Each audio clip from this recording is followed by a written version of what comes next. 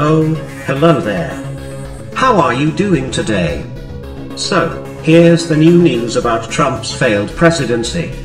Steve Bannon has been fired from the White House, in what could be a backlash against his criticism of the administration and white supremacy. Yes, indeed.